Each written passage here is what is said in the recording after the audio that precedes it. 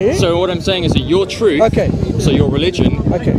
is your truth. Okay, let me but to me, it's not my truth. If you are 100% truth in something, can you be 5% wrong? Yes. No, that's Okay, contradiction. Okay. Yes. One second, one second, please, please, please. Let's not muddy this water. If, for example, if you're 100% certain that red, that bus is red, can it be pink 5%? Yes. Because, you are- because my eyes might see differently to your eyes. We have something called being colorblind. So people see things differently. Someone's truth is not the same as everyone else's truth. This is what I'm saying. And with science, at least, it might show that an answer's true, but it's always questioning itself. And sometimes they turn around and the science changes and they say, actually, we realized You're this is wrong. you're actually talking about something that I'm not even talking about. I'm not talking about the shades. I'm talking about if you're 100% true and certain, do you exist? Do I? I'm asking you. There's a very, very strong argument that none of us exist, that this is all a simulation. Do you exist? What does that mean? What does that mean? Okay. I don't know. Do I? What exist? part of the statement is not clear to you in the English language? Do, do, does, did, you, them, I, we, pronounce, exist, existence, non-existence. So which part of that statement, my question, is not clear to you? Do you exist? Then I can answer the question. Well, instead of being patronising, I'm not patronizing it. patronising no, I'm not. I'm not. Don't be offended. Don't be offended. Because the moment people say, "What do you mean by that?" okay, I'll, I'll put it back to you, and you can give me your answer. Yeah. Do you exist? I do. How do you know? Okay. Did you feel anything? Yes, but Uh, wait, wait, wait, could, wait, could wait. you be having Wait a second. dream? Wait a second. Could it feel? Wait, wait, wait, wait.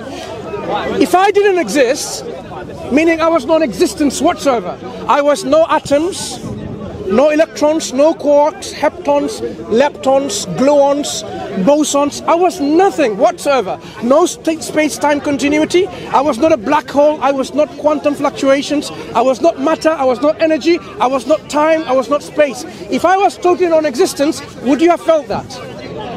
Well, how do you know that's real? Would you have felt it? Uh, my question. Did you I felt it. You felt it. But how uh, do Wait, you know wait, what wait, you're wait. feeling is real? Wait, I'm asking you. This is my question to you. If I was totally non-existence, would you have felt it? But you're assuming that I am real. No. Would you have felt it? It's a logical question.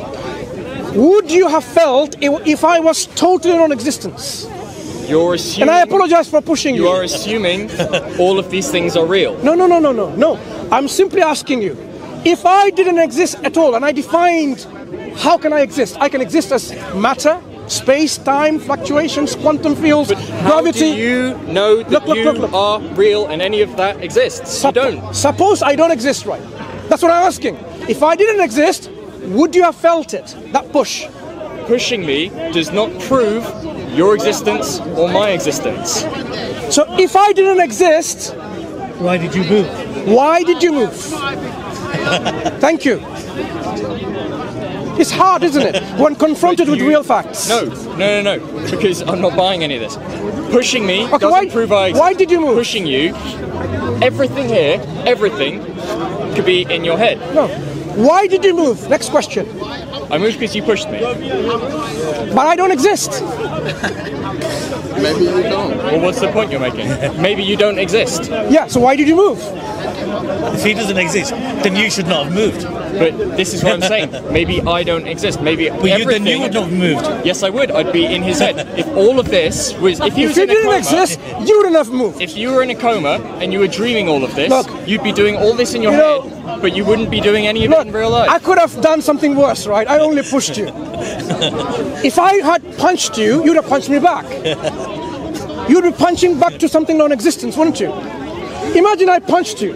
I hit you so hard, and I swear that you, I called you something very wicked, something very vulgar about your mother, about your girlfriend, about your wife, about your whatever. You would be hitting back something that doesn't exist.